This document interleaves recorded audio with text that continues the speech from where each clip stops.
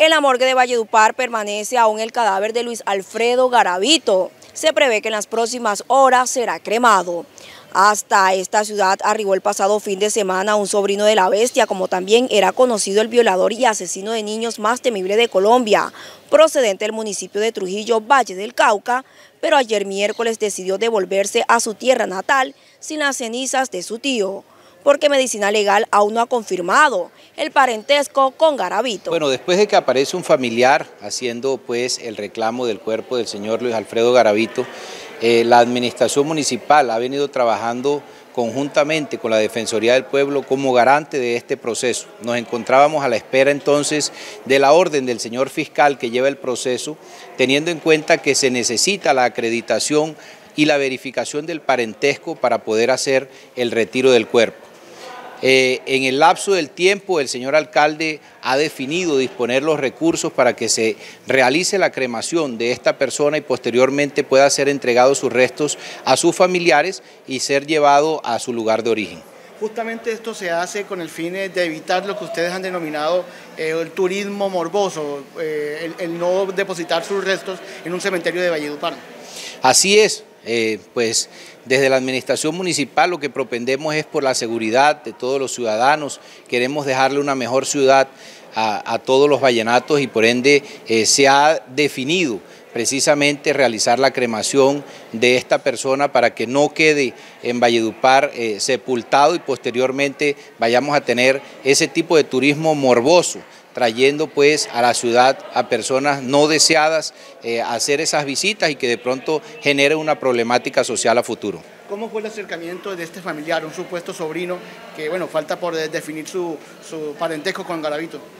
La Defensoría del Pueblo, como bien les dije, ha sido garante en este proceso, han sido los que han tenido ese enlace con el familiar que ha venido aportando la documentación, pero el señor fiscal quiere que se verifique eh, dentro de las diferentes eh, pues, eh, notarías en donde se emitieron estos certificados para que haya la claridad y la certeza antes de ser cremado el cuerpo del señor Garavito. Otra de las demoras que digamos, ha tenido este proceso es que la Fiscalía General de la Nación también necesita autorizar la cremación también del cadáver de Garavito.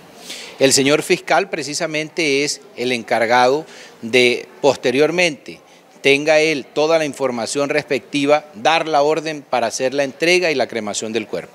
Esto eh, a partir de la cremación, ¿cuál es el paso a seguir o ya queda a disposición total del familiar? Queda a disposición total de los familiares para que ellos definan qué hacer con los restos del señor Garavito.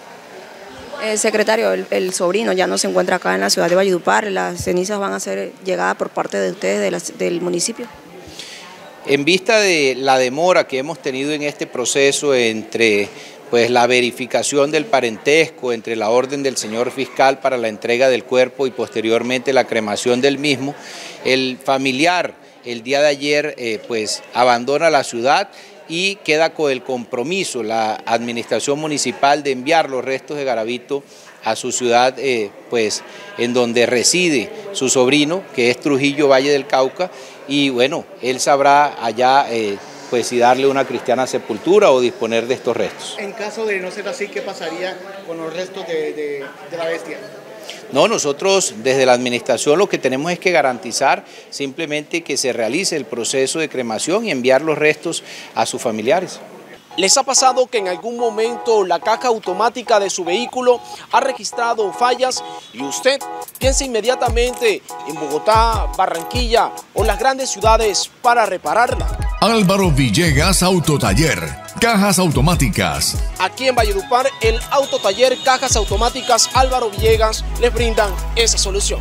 Conozcamos las instalaciones reparación de cajas automáticas y almacén de repuestos. Somos un taller multimarcas. Y toda esta es el área de taller. Aquí, profesionales idóneos cuidan su vehículo. Estamos ubicados en la carrera 15, número 1720. Contáctanos al 301-404-6823. Álvaro Villegas Autotaller.